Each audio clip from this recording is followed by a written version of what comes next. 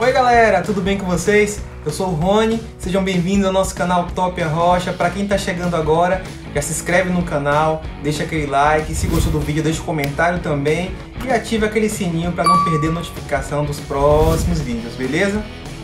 Para quem acompanha nosso canal, sabe que aqui a gente conta diversas histórias. Então lá em abril de 2020 a gente começou com essa sequência de histórias. Então a gente resolveu fazer algo diferente dessa vez. Sabemos que as pessoas procuram muito saber por onde anda algum artista, alguma banda. E a gente do Top Rocha resolveu resgatar esses artistas, por onde andam, o que tem feito. Essa artista também é uma das mais pesquisadas. Contamos a história dela lá em 2020.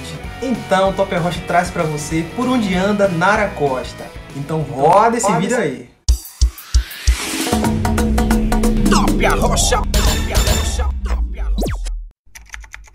Sempre tem aquela música ou aquela voz que marcou uma determinada época.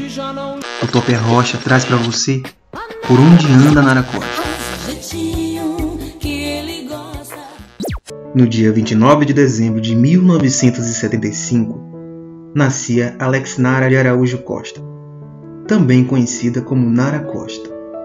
Nascida em Salvador e criada na cidade de Candeias, Nara Costa começou a cantar aos 13 anos de idade. Nara sempre gostou de cantar clássicos do MPB.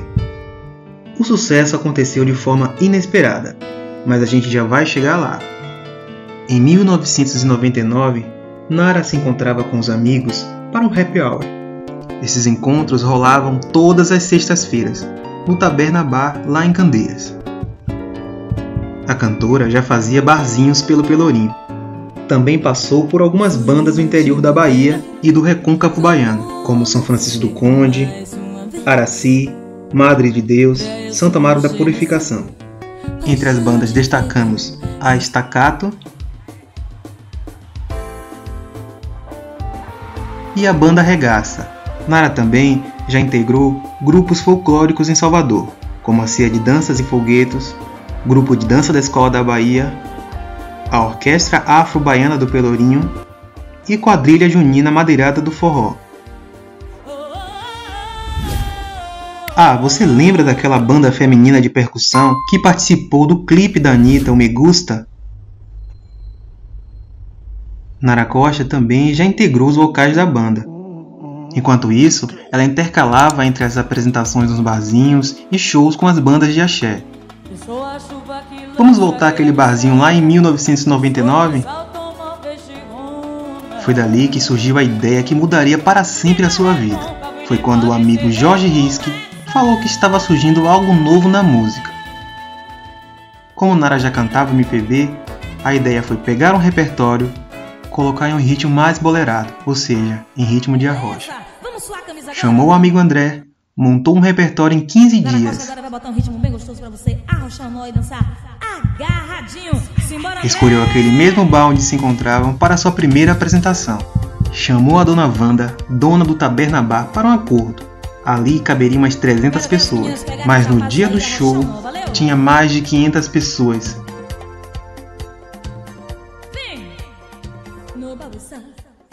Logo em seguida, grava seu primeiro CD em estúdio com clássicos de MPB.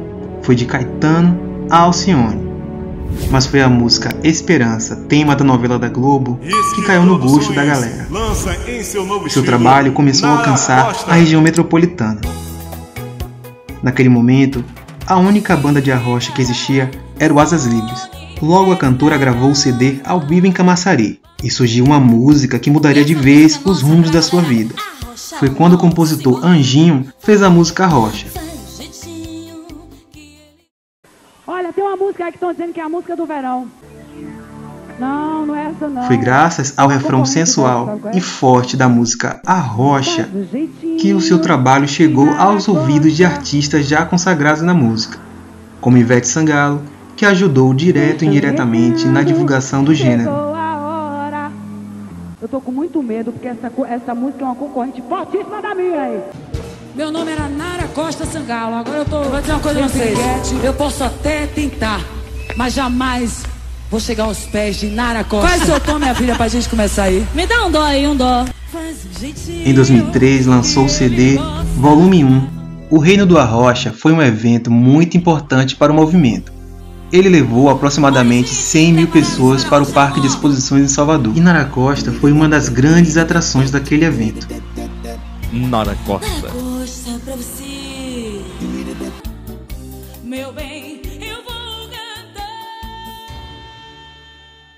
Logo lançou o CD Volume 2 também pela gravadora Gema.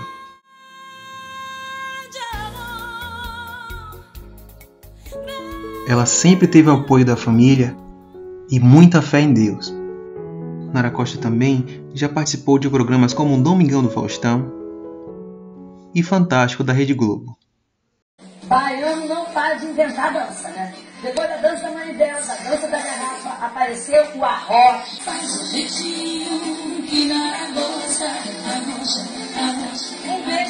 Nara virou uma das atrações preferidas no programa do Gilberto Barros, o Sabadaço na Band. Nara Costa sempre esteve engajada em campanhas em prol de causas comunitárias e sociais. Enquanto isso, surgia a primeira polêmica, em torno de quem de fato seria a rainha do ritmo. Mas ela sempre deixou claro que nunca se importou com títulos, que tudo começou em Candeias, quando o locutor da cidade a apresentou para o público como rainha do Arrocha.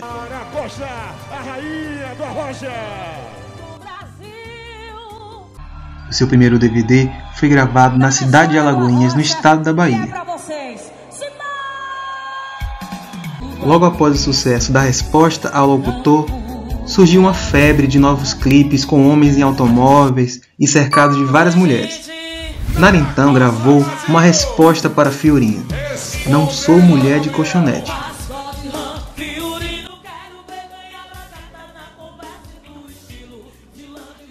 Destacamos também o CD volume 13 e a faixa Lábios Divididos, que virou um novo hino nos seus shows.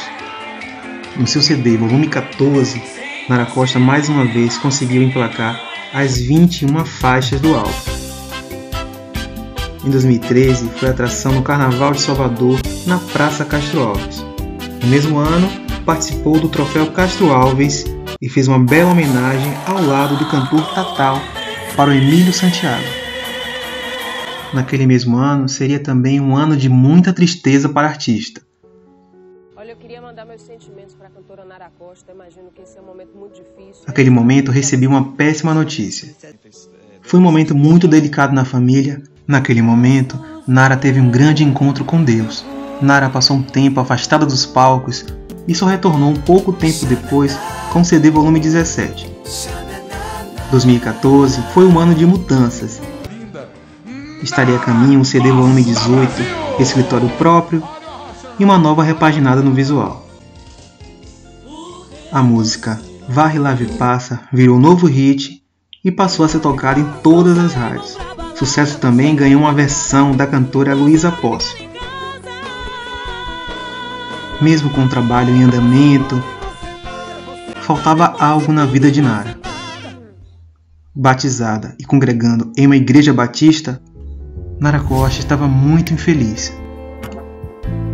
Em junho de 2015, no São João de Irecê, no norte do estado da Bahia, Nara se despediu do público com a música Sementes da Fé e agradeceu por todo o carinho nesses últimos anos, por terem comprado seus CDs, curtido seus shows e por terem pedido suas músicas nas rádios. Em mais de 30 anos de carreira, ela já acumula mais de 20 CDs lançados e mais de um milhão de cópias já vendidas. Em seu primeiro retorno, a música foi com a faixa Quando Jesus Estendeu a Sua Mão, lançada em 11 de fevereiro de 2019. Ela reforça que não desistiu da música, desistiu apenas de ter uma vida a qual não tinha paz. Nara hoje segue dedicada a participar de eventos como marchas, festivais em igrejas e levar a palavra de Cristo para aqueles que necessitam. Tem louvado a Deus na Igreja Batista Tabernáculo de Deus. Em 26 de junho de 2020, apresentou a live Gratidão através do YouTube em prol do NAS. Aquela live também seria uma espécie de testemunho e gratidão por tudo que Deus tem feito em sua vida. Em seu canal no YouTube, ela apresenta o projeto Cover Essential, ser uma espécie de covers de canções. Vale a pena conferir. E esse foi o Por Onde Anda Nara Costa.